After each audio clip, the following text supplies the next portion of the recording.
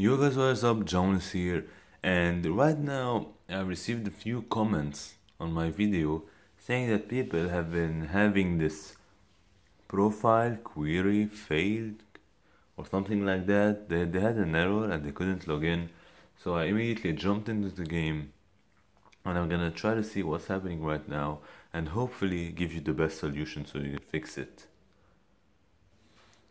Okay, so right now I'm having this checking services queue retrying one. I think I have a problem getting inside the server. Let us see what happens. I'm just waiting for it to load right now. So right here at already at retrying 2 and usually you either log in right here or you get an error. Usually there's no retrying 3 so let us see what will happen. So right now I'm still waiting, apparently I'm not able to log in.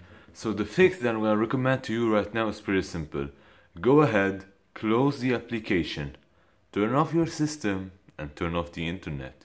Then turn the internet back on and restart your system, so turn it back on and retry logging in into Fortnite.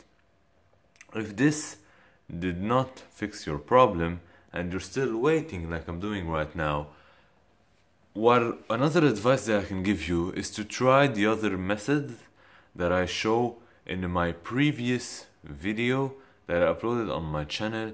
And in the video uh, like I have many videos on my channel try uh, those. But basically for this error I think it's a login from the server's error. So uh, basically the best thing to do is just to retry it and to restart it so you can each time get a, like a fresh request to the server and right there as you can see we are already at checking epic servers queue epic servers queue they're not so epic since we get those login errors. But anyway epic services queue retrying 3 so basically right now this is taking way too much time so all you have to do is to restart everything and keep on retrying basically or check out the other videos on my channel they might help you as well. Uh, so this is what I can give you for now until until uh, I find something new I'm gonna keep looking into it and see if I can find a specific fix for this type of logging in taking forever